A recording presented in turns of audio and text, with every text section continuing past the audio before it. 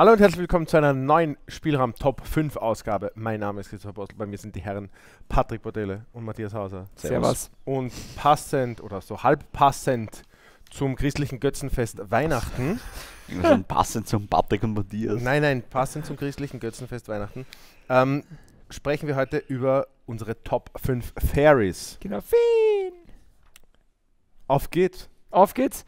Äh, mein Platz 5 ist eine äh, Fairy, die nicht gespielt wurde, weil sie eine Fairy ist, sondern eine Fairy, die gespielt wurde, weil sie einen Goblin enttappt. Er ist nämlich Tritzknilch. Sehr geil. Pestamite. Genau, Pestamite, Pestamite. Ja, ist halt für, die, für das Kombo-Potenzial, sei es mit, mit, mit, mit äh, Kiki Chiki, sei es mit Splinter Twin, Alter. ja, mit Splinter Twin sich selbst enttappen. Ja, dafür da, ansonsten sehr unspektakulär. Ich meine, man kann es natürlich auch im Tempo-Play spielen, was mal zutappen, so ist es Das nicht. war halt der zweite Gameplay. Das, des das, war, das, das war der verzweifelte Gameplan des Gags, ja. Secretly war es der erste Gameplan und alle haben immer ja sich angeschissen vor der Combo und sind Ich habe dagegen mir mal irgendwas Removal offen lassen und du haust einfach mit Pestamite Alter. jeden. Die letzten Inkarnationen von dem Deck hatten halt so Tamogreifs und so zwei bis drei Splinter Twins noch. Ja, weil, aber das war das Problem halt. Du hast halt sowohl gegen den Creature-Plan was machen müssen, als du hast halt nie selber was machen dürfen, weil Ja. in dem Moment hast du dich ausgedacht, haha, Combo, Gleich bist tot. Ja, richtig. Richtig reidig. richtig Ach, korrekt. die originale Polizei.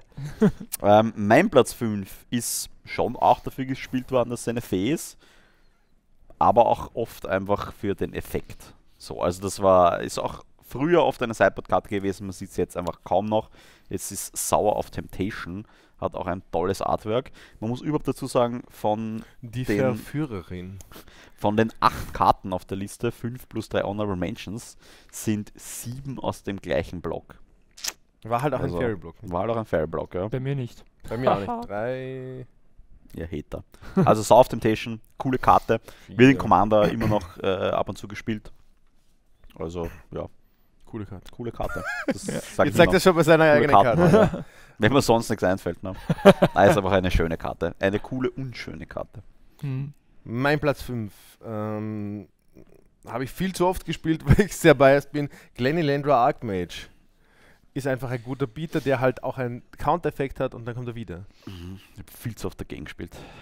Ja. Ich hasse dich dafür, Richie. Bis heute. Der Rich, ja, ich habe auch so einen Rich denken müssen bei kleinen Alter. Das ist so eine schöne Karte zum Spielen. Eine so eine Karte, die einfach, wo einfach ein korrekter Effekt drauf ist und dieses Persist ist einfach eine so eine feine Ability Mhm. Gewesen. zweimal countern. Sehr Sehr nett. gut. I like. Mhm. Äh, mein Platz 4 ist eigentlich die Oberfee. Und ich weiß, der Matthias wird irgendwo auf seiner Liste Ona haben, aber die Ona ist nicht die Oberfee, weil die Oberfee ist eindeutig die Nebelklick, Nebelbandklick. Äh, weil Nebelbandklick die Champion einen anderen Fee und ist folglich der Champions der Fees. Aus dem, was sie ein Hauptgrund, warum dieses Feendeck damals so lästig war. Es war ich, also, es war alles schlimm, aber in deinem Zug Nebelband, äh, die Mistbandklick zu fressen, dann dich austappen zu müssen und dann hast du gewusst, jetzt bist du schon wieder tot. Ah, einfach gute Karte.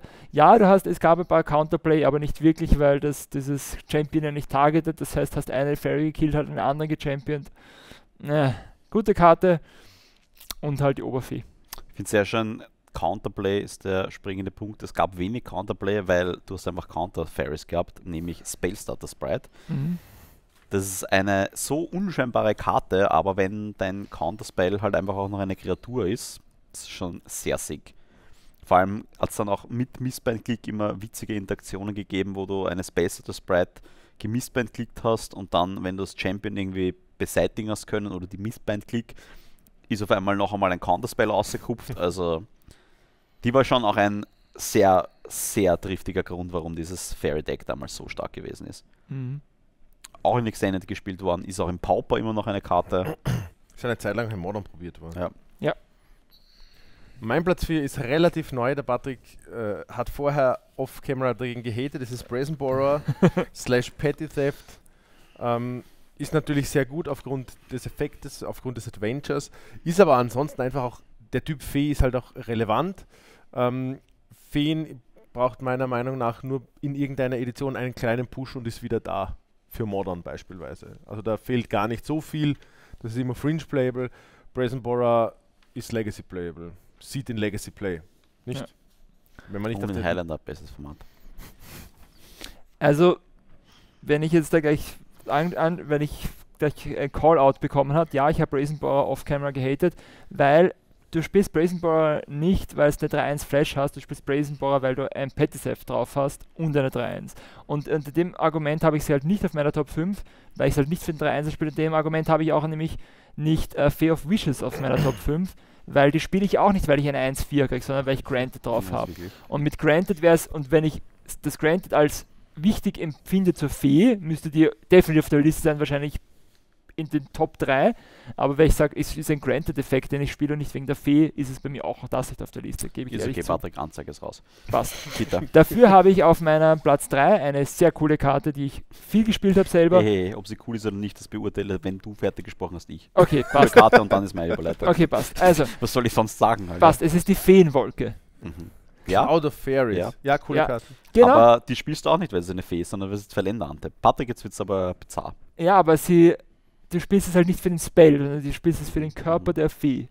Den Körper der Fee. Wie sich das Okay. anhört. Ja, Patrick Cosplay. Fee Cosplay. nein, Patrick Instagram Patrick, Feed nur Fee Körper der Cosplay. Fee. Körper der Fee. Körper der Fee. Du hast die cyclen können, du hast Verländer tappen können, es gab, gab lustige Combo-Turns mit ihr und ansonsten war sie einfach ein Tempo-Play, wo du einfach zwei Spells in einem Zug spielen konntest. Ich habe die damals wie Urza noch le- standardlegal war sogar gespielt, also super Karte, coole Karte, Coole Karte. danke. Okay. Mein ja, Platz drei. coole Karte. Ja, coole Karte. Super, Patrick, dass du auf deiner Liste hast. Ich habe es auch lange überlegt, habe sie dann nicht drauf. mein Platz 3, der Patrick hat schon angesprochen, Mistbein-Click ist oben, weil er mit der so viele Stunts aufführen hast können und sie de facto der Finisher in diesem Fairy Deck gewesen ist. Wie, wie oft man da gesessen ist und es war so, okay, passt, ich enttappe, ach, Mistbein-Click, ich kann schon wieder nichts machen. Go und dann kommt so die zweite Mistbein-Click und es ist so, okay, passt, danke, vorbei. Das so wie das nächste. Cryptic, Cryptic, Cryptic. Ja. Ja, oder Cryptics dazwischen, genau. Ja, oder Cryptics dazwischen halt, ja. Das Ja. war. Konnte ich den Spell, bounce ich meine Missbein-Click. Oder es ist eine Space Status Sprite darunter und ich bounce meine Missbein-Click und ziehe eine Karte, konnte Space Status Sprite. und ich weiß so, ah ja, der nächste Runde werde ich wieder gemissbein-clickt. Und das, so, das war schon ein sehr, Geil, sehr das tut mir ein bisschen weh, dass ich zu der Zeit nicht Ja, gespielt hätte das sehr habe. sei froh, dass du das Das war gemisst ein hast. Ich großartiges hätte war- das auf jeden Fall rauf und runter Das war gespielt. so, ich habe das nie gespielt, ich habe großartiges so gehasst, dagegen zu spielen. Also ich glaube, das ist eines, das, also es gibt sehr viele Formate mit sehr vielen brokenen Karten. Ich glaube, es gibt wenig Formate, wo ein Deck so viel stärker als alle anderen Decks gewesen ist. Ja.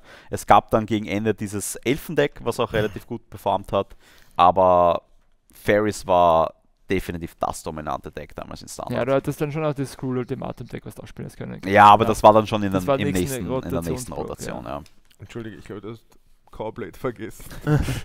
ja, das war auch sehr gut damals. Aber davor gab es Ferris. Mein Platz 3 ist das einzige Viech, das diese Typen hat, beide. Außer deine komische Ich Sprite Dragon ist nämlich ein Fairy Dragon. Alter, der Arme. Ja. Sprite Dragon ist für mich ein Fairy Dragon. Schaut lieb aus. Der schaut schon lieb aus. Lieb. Schau, solange du nicht sagst, schaut sexy aus oder so irgendwas Nein, passt. nein, nein. Das Schaut ganz lieb Seite aus. so. Ist auf jeden Fall eine super gute Karte. Wurde gespielt ab Ikoria. Wird gespielt Vorher wäre auch ein bisschen hart. von Standard bis in hohe Formate hinauf. Habe ich sogar schon Legacy-Listen gesehen. Hohe Formate, Hochländer. Hochländer, ja. Wird auch gespielt. Ja. Ähm, ja, overall einfach eine super coole Karte, super Design. Ähm, könnte man sagen, dass es mehr, Fair, äh, mehr Dragon ist. Für mich ist es eigentlich mehr Fairy. Nicht? Mhm. Drachen sind fett, 5-5 fliegen und Speinfeuer. Der ist klein, lieb und wird größer. Aber es Er wird, wird- auch bald wird schon 5 sehr 5 und, und haut dann gescheit zu. Ja, Aber am Anfang Feuer. ist er klein und lieb. Das Ja. stimmt. Mein Platz 2 ist die äh, Stotterzauber Sylphide. Mhm. Ja. Also Spellstarter Sprite, aus denselben, aus all den Gründen, die der Matthias schon gesagt hat, einfach plus 1. Äh, ich habe lange überlegt, sie auch auf Platz 1 zu geben, weil sie einfach so gut war, weil sie halt eben in dem Fairy Deck, das damals so dominant war, ein Hauptgrund war, warum das do so dominant war, weil sie eben mit Bitter Blossom so stark war und ist und weil sie eben auch in, in Extended und Modern gespielt wurde, in Legacy gespielt wurde, aber alles wurde. Heutzutage ist sie halt nur noch im Pauper wirklich sichtbar und insofern deswegen hat sie es halt gerade nicht auf den Platz 1 geschafft, aber ich finde noch immer einer der besten Fairies in Wirklichkeit. Einer der besten Fairies in Wirklichkeit, auch wenn der Patrick hart hatet, ist einfach Brazen Borer. ja, natürlich liegt es auch an dem Spell, aber dieses 3-1 Flash Flying, das ist einfach eine Ansage auch. Also wie oft man einfach mit dem den einen auf den anderen reinflasht, gerade in so kontrolligeren Decks ja, und ich spiele das. Petty Theft oft gar nicht. Weil ich kein Du flashst Target dann halt rein, dafür. ja, du flashst dann einfach rein und es ist so, okay, untappst und jetzt muss der Gegner den beantworten. Und dann, ja, hast du Counter Magic ab. Richtig geil. ist eine wirklich gute Karte. Und dass diese Tempo-Decks auch quasi einen Bounce-Effekt als quasi Removal haben, das fehlt blauen Decks sehr oft. Und du willst dann aber so Ansam-Effekt, ist immer so uff, bisschen awkward und der hat einfach den Bounce-Effekt und einen Threat auf der Karte. Richtig gut. Ja, coole Karte. Mein Platz 2 ist, der Patrick hat das viel zu weit unten, ist Pestamite. Ist einer der besten Fairies ever, weil sie mit Kiki Chiki und Splinter Twin Combo, ihr sagt, ihr redet da komplett falsch drüber. Ähm, wir haben ja auch schon gesagt, ist auch eine Tempokarte, kann man in einem Tempo-Deck spielen, tapp, tapp ich Sachen weg, äh, kann angreifen. Wie der Matthias gesagt hat, das ist oft einfach der Tempoplan, der bessere gewesen zu Splinter Twin Zeiten. Armband Splinter Twin an dieser Stelle. ähm, ja, eine sehr geile Karte. Ein Ähm, lustiges Artwork irgendwie. Die haben alle lustige Artwork. Also Fairies haben alle lustige Artwork. Ah. Oder hübsch. Oder, oder lieb. Oder Fairding. Feenkörper sexy. Den Weiß Körper nicht, also. sexy, ja. Gerade mal die Willow Fairy ist sexy, aber sonst fällt mir, glaube ich, kein einziger Fairy ein, die sexy ist. Die ist grün und sehr alt. Von der Edition her, meine ich. Sehr alt ist sie. ja, ist aber ältere Dame. Alte Fairy Eine Körper. viel ältere Dame. Major Ähm, Fairies. Wir sind bei den Honorable Mentions Gilf, Gilflieder. Gilflieder-Klick. und meine, zwei von meinen Honorable Mentions haben die Herren neben mir diese Spaßbremsen schon auf Platz 5 gehabt, aber das ist auch irgendwie adäquat, weil bei mir haben sie es halt gerade nicht auf Platz 5 geschafft. Das eine ist Erzmagerin von Ele Elandra Schlucht, also Glen Elandra Archmage, und das andere ist die Seherin der Versuchung, also Sour of Temptation. Ja, die zwei Herren haben beide gesagt, warum es so ist. Äh, Sauer war auch teilweise ist in, in Extended gespielt worden und auch in Modern, weil du einfach Kreaturen übernehmen hast können und das einfach so, schon eine gute Ansage und ein Tempo-Play auch war. Der hat dann das Removal drauf wieder braucht, dann hat es wieder zurückgekriegt, aber das hat ihm gekostet und so weiter. Und halt äh, Glenn Elandra zweimal countern auf einem Körper, der noch Ja, gescheit Das ist einfach zuhaut. ein 2 for 1 der dich haut. Ja, Während du so du überlegst, so, welchen Spell kann ich da eine hauen? ja. Welche zwei Spells kann ich da eine hauen? Genau, das ist einfach richtig gut, gute Karte. Und meine letzte Honorable Mention ist eine, eine äh, nicht aus demselben Block, meine zweite nicht aus diesem Block Karte, ist nämlich Scripwaldläufer, äh, Mhm. Script Ranger aus Time Spiral, ähm, einfach weil ich halt dieses, ich enttappe was, ich habe das damals in Time Spiral Block relativ oft gespielt in, in gewissen Shells und so und es ist einfach eine gute Karte, auch eben, Wird Der- der, ge Entschuldige, wird der geheißen, wenn man den enttappt hat, diesen 5 Mana 8-8? Weißt du das noch? nein, ich habe keinen 5 von 8 8 enttappt. Doch, doch, den hat man immer. Das, das, ich habe so einen 5 Mana 8-8 und der, ich weiß nicht, was man da hat, machen musste, dass man den enttappen kann. Und der Trick wird, ihn immer mit der Sylphide enttappt. Okay. Ja, weißt du, ich nicht 5 von 8, 8 Schuss. nicht mein Style. ich habe hab irgendwelche ranzigen. Er hat ich, ich, 7 Mana 2-2 enttappt. genau, solche Sachen enttappt werden.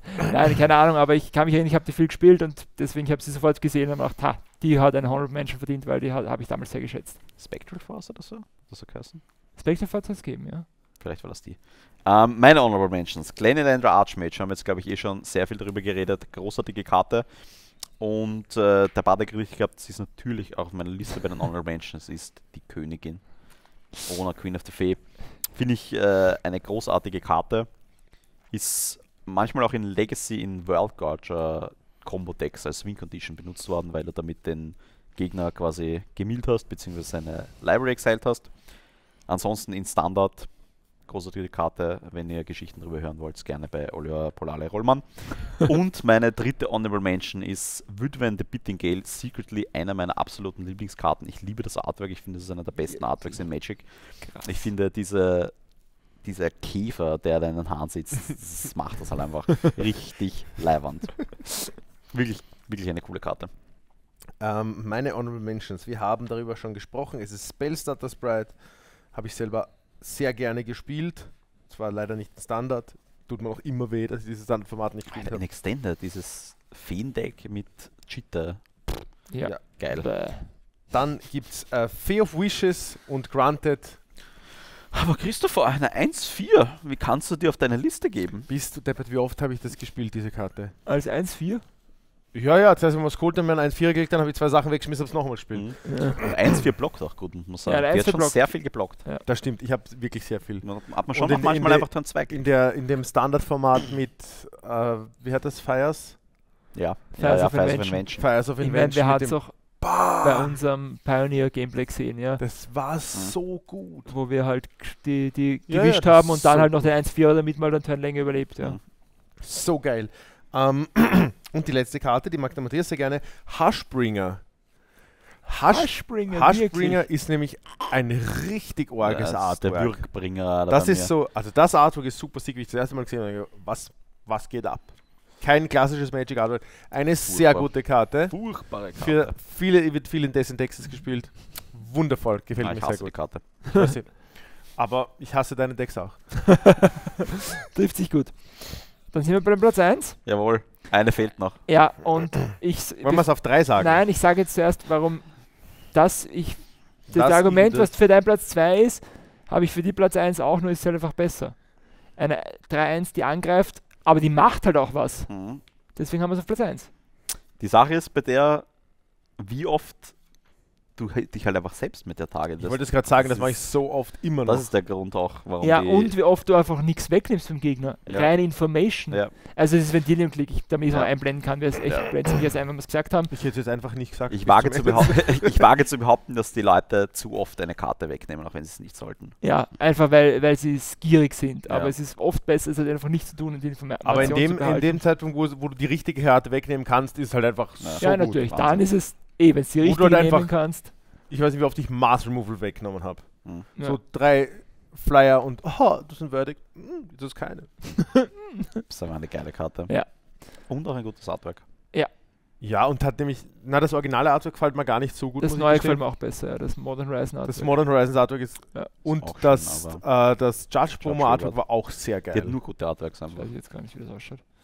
Aber ja, coole Karte. und wir sind uns mal einig auf einen Platz 1. Ich glaube, ich kann mich nicht erinnern, was das letzte Mal vorgekommen ist, dass wir alle drei dieselbe Karte auf Platz 1 hatten. Weiß nicht, Jason Mainz galt bei Planeswalker oder sowas. Ja, aber das, keine, das, war keine unsere, das war genau, das war unsere gemeinsame Liste. Ja, ja, so Ja. ist das. Es ist halt einfach die beste Es ist einfach die die beste. beste, ja. ja. Ich spiele es noch immer in Modern. Ich spiele Ja. keiner außer mir in Modern. Und ich Ja, aber oh, das ist aber eine gute Karte. Du spielst du noch? Sag ich, ja. Ja, es wird schon, also wird manchmal noch gespielt und auch in den Elternformaten. Also vor allem wie alt die Karte noch schon ist und als Kreatur, dass sie immer noch gespielt wird. Mhm. Das Ja. spricht dann ja auch weil halt die gute Karte. Stats drauf sind. Der Effekt ist gut. Ja. Und du kannst halt selber noch immer deinen eigenen Schaß weglegen, den Ja. du nicht brauchst. Eh, Und du musst ihn nicht herzeigen dafür, Ja. nämlich. In Highlander wie oft so mit so, doch du musst sie herzeigen, weil das hat eine Condition. Du musst die Karte herzeigen, aber nicht deine Ja, ja, Hand. die Karte. ja, ja, und das geht's halt. Ja, ja. Ähm, in Highlander dieser Softlock mit Caracas. Mhm. Das ist auch- schön. I like it. Bash für 3, Bounce. Schau mir die Hand an. Okay. Kannst behalten. Bash für 3, Caracas. Schau Ich mir die finde auch, es gibt bei, bei Vanilla Clickers da auch, dass die Leute das teilweise falsch spielen, weil sie immer darauf warten, bis die Karte nach dem Drawstep gezogen wird. Ja. Oft ist das nicht die richtige Entscheidung. Oft ist es einfach End of Turn, ich schaue an, was passiert. Ja. Ja. nicht, ich warte ab und Mhm. vielleicht verge- aber lieber End of Turn, Ja. schauen, was passiert. Lieber safe. Ja. Und dann für 3 Bashen. Yes. Ja, wir sind durch. Wir sind uns einig. Jawohl. Vielen Dank für eure ähm, wieso, wie soll ich sagen? Ähm, Anteilnahme. nicht, nicht für eure objektive Sichtweise, dass Mhm. diese Karte, so wie meine subjektive Sichtweise, die korrekt ist natürlich, diesmal auch eure ist. Euch danke fürs Zuschauen. Ihr könnt es immer liken, subscriben und kommentieren auf Facebook und YouTube, unserem Discord-Server beitreten, unserem YouTube-Channel folgen, unserem Instagram-Channel folgen, das Glockensymbol anklingen, klicken, ähm, uns im nächsten Video sehen oder im Spielraum. Bringt In mal Wien. Vorbei. Nein, ich brauche keinen Hustenzucker. Auf Wiederschauen. Schau, Vor Baba. Weihnachten. ich weiß ja, wann es released wird. Achso, Es ist kurz vor Weihnachten der Release. frohe Weihnachten. wir so, aber wir so warten.